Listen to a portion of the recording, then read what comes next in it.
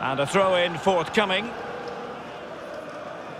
Possession changes hands, the interception there.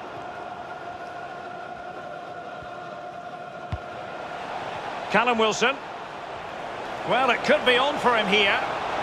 Is it going to be? In it goes! The opening goal in this contest.